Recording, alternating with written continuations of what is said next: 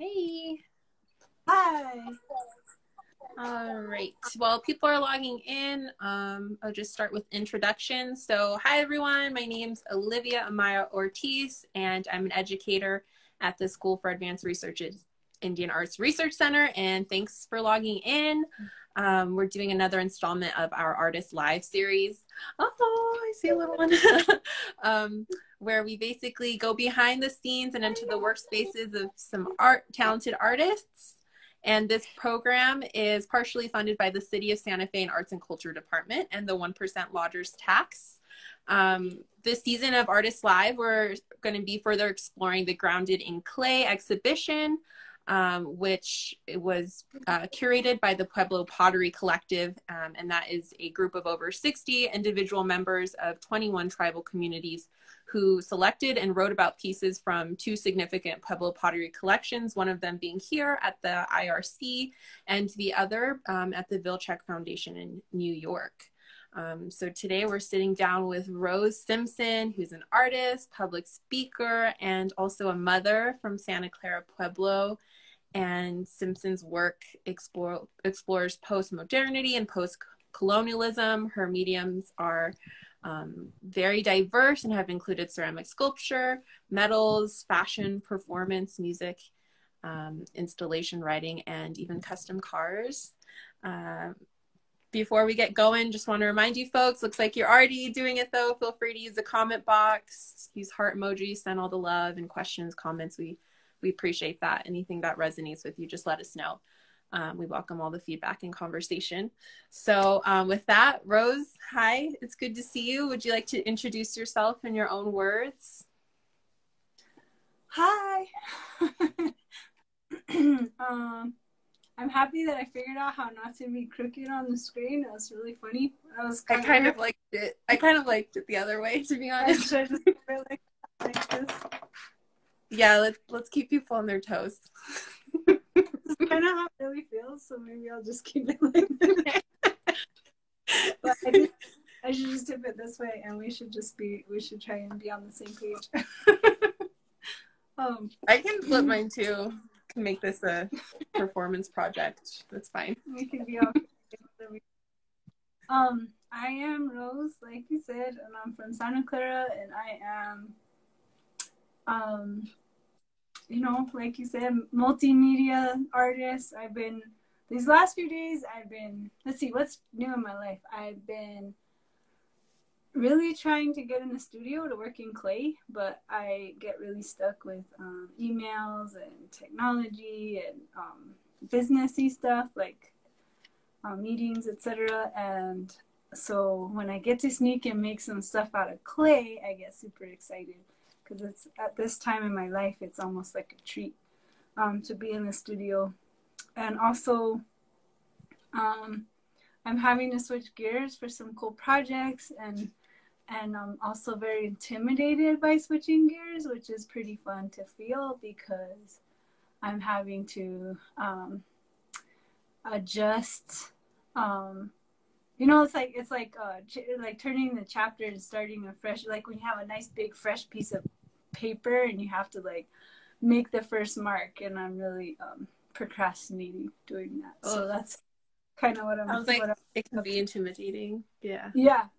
Super yeah. intimidating and feeling like any mark i make is gonna have a big impact and so i'm, I'm feeling really lots of pressure around it. So that's what's going on. Oh. well when you when you're in the studio do you let your little one join yeah, she's around. Balance. yeah, she's around all the time. Um, one of our buddies just gave her a big old box of hand-me-down clothes, and that was like super super exciting for a five-year-old, and they are everywhere. So it it turned into this explosion of hand-me-down clothes, which are really cool, um, and it's really exciting. what she is um, currently getting really into that, so now we have to figure out how to clean them up and sort through them and be respectful. So, you know, it's always a balance, which is pretty cool. Yeah. Cool. Well, um, I guess we should talk about the exhibition a little bit. Are we ready to switch gears? switch yeah. Gears go there. yeah. yeah. Um, so in the exhibition, um, for folks who maybe haven't seen seen it at MIAC yet or the catalog, you um, curated two pieces, and um, one of them is a is an ancestral Puebloan jar um, from 1050 to 1300, and uh, when I was reading the entry, I I was um, intrigued by how you started started speaking about it because you wrote it as a letter um, addressed to you know dear capitalism, dear patriarchy, dear modern existence, dear Rose. And so that might be a good jumping off point. Can you tell us why you um, why do you feel it's important to address these subjects, and then where do you see yourself, you know, within or your role within those systems? Um, uh, one of the coolest things about curating or, or being a part of this project was sitting with those with those pieces and having the privilege of you know being near them being with them in silence building a relationship with them um, building a conversation with those pieces really sitting with them um, and also i think um, it was really cool to feel like uh, that the collection is a resource and that we can, you know, it was almost like the doors are open, come visit your ancestors, you know, um, and that was really, really cool. Um, and then the the aspect of writing about it, writing about that experience of building that relationship, um, was was really um, intimidating, but also really um, enlightening, you know. And oftentimes I think about um, when I see some of those older works from ancestral places, I think about um, picture the the aesthetic, right? Yeah, that's that's it. Gosh, it's beautiful. So so so beautiful to me. Oh. Um, it reminds me of my values, right? Like, so what what is what is uh, abundance and what is success and where are we going and what does that look like and some of the aesthetic of those old pieces are like absolute perfection and they show me basically where i want to go but it's like it's like history it's the past but it, it, it looks to me like the future um, and so i have to be careful about comparing um, my life now with with what i believe were the values of the past and so when i when i address that piece to dear capitalism, dear patriarchy, um, you know, dear Rose. I am part of that. I am part of that story. I am actively perpetuating those things. Um, and it's not that, you know, it's speaking to me in the parts of myself that I am, uh, I am, mm, you know, I'm not on one side or the other. I'm not the good guy I'm not the bad guy. We're all playing this game, and we can all learn from that kind of um, reflection or aesthetic. And so that's why it's addressed to myself as well as those things, because I don't see myself as separate as long as I'm playing this game. I'm part of it as well. So it's teaching me as much as I as mm-hmm. I, um, you know, it's a reflection of myself, and I can listen to myself in that. Yeah, I think that's really insightful. I think it's easy to lean into binaries um, when you think of ourselves and our um, communities. And you know, you in your work you speak a lot about genetic memory of of the clay itself, and maybe can you tell folks a little bit about like how you think about clay carrying genetic memory in general, and how do you choose to work with it? as an artist or like how you are thinking about it when you approach it I think often about how um, I was raised to believe that what we call inanimate things have consciousness, right? So rocks and plants and even the chair and the pillow or like everything around you is listening and it's and it's aware, right? So we we're in in in our deep relationship with all things and there's accountability constantly. Um, and so how do you act if you're always being watched? But also how how you know we're so deeply internally critical but also how um, because we know we're always watched that we can remember that we are deeply forgiven. Because you know everyone's being watched disappear for a minute? Did I Uh, disappear for a me, you cut I, out like, for just a second, but I yeah, you froze Okay. for a second, but right, I, I'm back. you know. So um, the clay, I really believe that it's um, it's an interesting thing as artists where we take materials from Earth, so inanimate, turn them into something that has um, intention and consciousness. So clay um, really reads that intention, right? And it's also, you know, um, a very direct relationship to place and um, our our uh, foundation, our foundational. It's a foundational element in a really deep way, in a real deep way, and so I think it listens to us as as all inanimate objects do, and so our intention is imbued in it. So if you think about ancestral pottery, um, it is still speaking to us, and we are still um, oh, did I, bu- I break out? what did you Yeah, someone said, "Oh no, you're breaking in and out. You're you're li- breaking in a little bit in and out for me, but I can still hear you." I kind of have Resi internet. We'll make it work. If not, Oh. that's okay. No big Oh, talk really slow. Or you'll. I can't. Sorry, have to go. Start breaking. yeah, I'm on to you, Rose. you're on to me. Um, so I think that uh, what I'm basically trying to say, I'll try and sum it up. Cliff's Notes version. Um, that the clay has memory and intention from the ancestors that's embedded into that material and was already part of place. So it's a collaboration between place and creator as an artist. And also, if you think they're all connected, it's almost a, a poetic relationship that artist was used by creator to create uh, you know this object that goes uh, goes down into the into lives on into the future as uh, as the byproduct of a, a long-standing relationship you know? It's like it's a beautiful thing. It's all i don't know what came first right? The the people or the clay or the pottery or was it all divinely synchronous Yeah.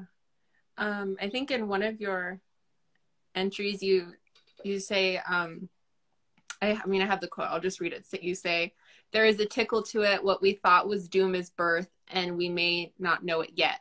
Hang on, this is either awakening or apocalypse, depending.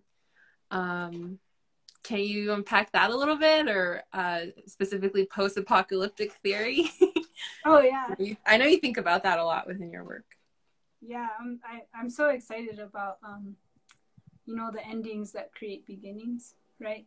And i know um that abstract designs like abstract geometric designs and so much for um you know i think cultures around the world use abstract geometric designs to um, symbolize uh, our spiritual relationships with place um, but with like that deep black and white abstraction i really feel like um you know we, we're reminded of balance of where you know in, in that piece itself i was like what is foreground? What is background? What is receding? And what is where where do we follow? What is the wall? Um and it's like back to full circle back to that binary um that you're talking about. Like we're walking in both simultaneously um and if and if we remember um, that every time you can step into the other one and you create a whole new world and we're in it right um, i don't know if that makes any sense but it gets me really excited I think you're getting really cerebral, so we're we're we're keeping up with you. we are. i'm yo you had, had to. You had that coffee before we logged yeah, on. I'm, I'm a, I'm a little sugar some bubbles No, we're keeping up. Uh, I like I think, what Joaquin just wrote. I love the move to balance and not necessarily duality. And I think that's beautiful. Feel free to keep commenting, guys, are asking questions. I was trying not to crack up when someone was making fun of the Resi internet. I don't know if you caught that. Yeah. but it's funny. I, I do think it's about um I also think about allowing and witnessing more than controlling. So it's something that I'm trying to learn uh, is is releasing the need to know and be in control of something, or uh, you know the anxiety of needing to to have uh, knowing everything around it. Like the, I need to know the truth. I need to know uh, the facts. I need to have, uh, you know, proof for these things. And I've been let, trying to let myself sort of fall back into allowance to. Um, I, I, I heard the word wonder the other day. And I was like, as long as I'm nervous about needing to be the right one or needing to um, be in control of some sort of narrative, I'm losing the potential wonder that's there. Um, and I think um, that pot that you showed. yeah, I'll pull it up. Yeah, can we look at it again and again and again and again? it's um, ah, uh, talk about faith. Like to me, that is so powerful, and in it's um, expression and its abstraction and it's like its journey it's so brilliant. It's brilliant in its journey. Um, I'm looking inside myself to have the faith in my creative process to pull something like that off.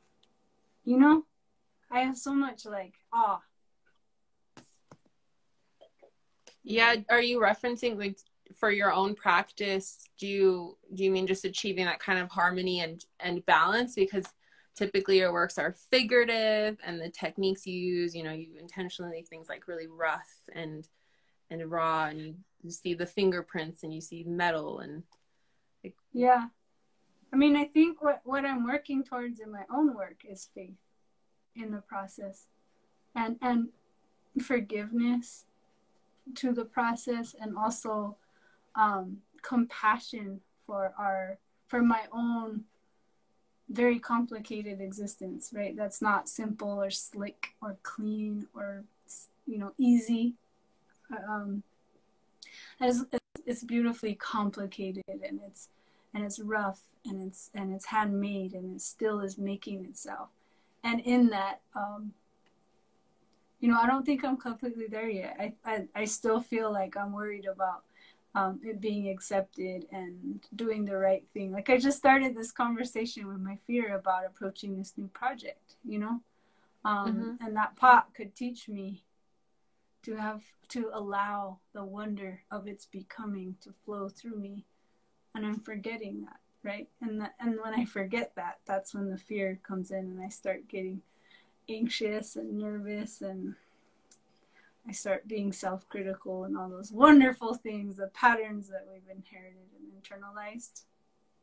So I guess that's what I'm trying to get at. Like when I see that, that's where I want to get the trust or that or or the like the skill. The skill isn't just um, practice and practice of making something. It's actually um, the investment in entering into another state of consciousness in a sense where you're allowing something to become.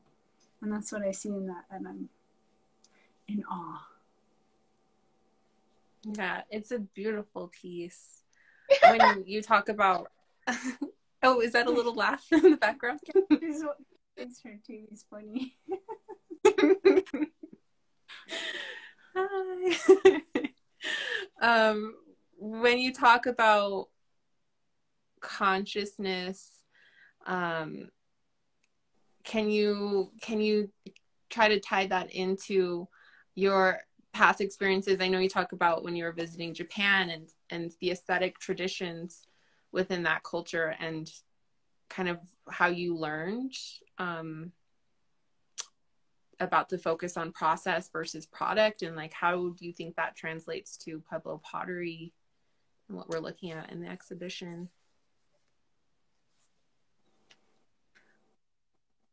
I I think that um, I would talk about the next piece that I chose, which was a much older piece from Santa Clara, and I think that um, looking at the work and revisiting the older work, we I think I I'm finding compassion around the process of of culture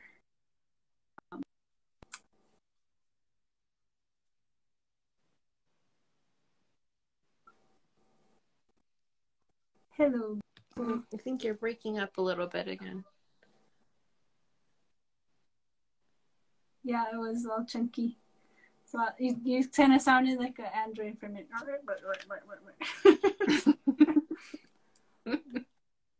but what I was kind of saying was that um, I think, um, you know, and and and and I would I don't want to uh, be too specific about this or culturally appropriative, but in um, but Japanese uh, aesthetic is uh, wabi sabi. I don't know if you've heard of that, but this allowance of something's um, becoming like a crack that might have happened is highlighted with gold to um, to honor its life and its the aesthetic that it's creating itself to be in a sense. Um, and when I saw the the pot that was um, crumbled around the lip, um, yeah. I saw this absolutely beautiful representation of you know who we are as people, and that there's something absolutely beautiful about where we are in the world and how we are surviving and we are might be crumbled at the lip here and there, but we're absolutely beautiful. And that in a sense you can love the experience of this identity um, as much as you might see beauty in that um, pot, right?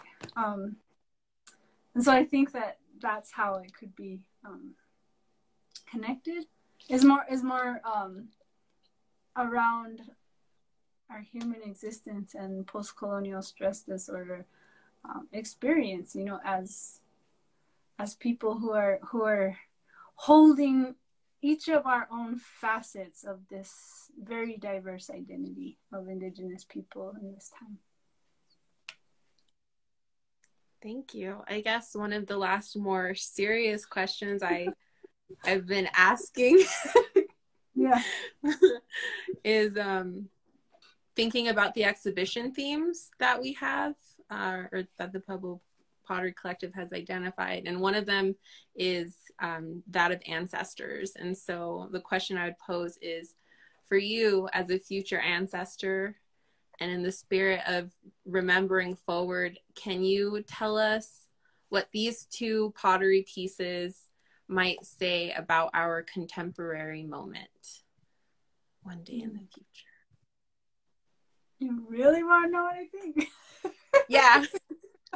I'm being for real right now. You're being for real. For real, for real. they would remember when it all had to break to start fresh. Do you remember when we had to remember past the objectification of identity and deep down into the faith of relationship with with our strength and our supernatural power as indigenous people to survive the thing that that came the beautiful blessing of destruction that took away something that was hurting everyone so that we could start fresh and that a new world was born. And in this new world the people remembered why they were here and their lives were so full and rich more than anything that they thought riches even meant in the last world that they were so absolutely full. And when they came to meet these pots the pots told them of a story about when we were learning to forgive ourselves and when we were learning to let go and that when we learned to let go it didn't have to be ripped from our hands, that we could just set it down. We could do this gracefully rather than with a fight. and so those pots spoke of the beauty of this time and how important it was um, for the world to be the beautiful thing that it became. Thank you. It was beautifully stated, and a lot of comments saying, "Tell the truth, Rose, for real." Heart emojis. Yeah, just lots of love and appreciation there in the chat box. Um, crazy as it is, it's already been 26 ish minutes. So we're almost ready to round it out unless anyone has some last minute questions or or comments. Um, for folks who haven't seen the exhibition yet, we encourage you to do so. It's on view at the Museum of Indian Arts and Culture um, in Santa Fe, New Mexico. And beyond that, thank you so much, Rose, for signing in. I agree. Someone said, Rose, your mind is amazing. Thank you for sharing your time and knowledge with us for a little bit. It's been an honor. Thank you for having me. And and the being a part of this exhibition, it's been a really nice change of pace from the rest of my life and I'm really grateful to have been included. It really was special and um and I'm I'm honored to have been a part of that. So thank you for having me. Thank you. Before we go, um any other like you mentioned some projects. I don't know if you can really speak about them yet, but anything we can we should be looking out for? Right now, um, I've been in Philadelphia working at the Fabric Workshop and Museum. I'm putting together this epic installation in their museum um, that opens October 6th. And I'm really, really excited about it. It's like, it's so cool. It's the most amazing opportunity. And I think it's to transform it's it's transforming me so i hope it'll transform more than that um, and be something in the world that it's like it's almost like an artist statement that's laid out onto an entire floor of a museum and it's like these rooms and buildings that that you can navigate and, and look into or, or enter um, it's called dream house and then i have a solo show in new york city in march um, and then I have a solo show in San Francisco in September. and I also have some other big projects going on. So I'm very busy, but I'm really, I'm feeling really full and blessed to be doing this. So it's good. Awesome. Well, can't wait to hear more about those exhibitions opening. So I'll try and post more. I got locked out of Instagram on my phone. I'm, I'm glad you didn't get locked out tonight. yeah, well, no, I have to go on my computer, which is actually really good because I only get to check like once a day or once every other day. So I'll try and post pictures and keep everybody updated. But I'm trying to be more healthy and stay off Instagram as much as I can. yeah. If you don't, we don't blame you. right on, right on. That's where I am. If you're wondering where I went. Yeah. Right on. Thank you. All right. Thanks. Have a good evening. Thanks everyone for joining. And we'll be back in about two weeks um, with another SAR Artist Live focusing on grounded in clay. All right. Yay. Bye, folks.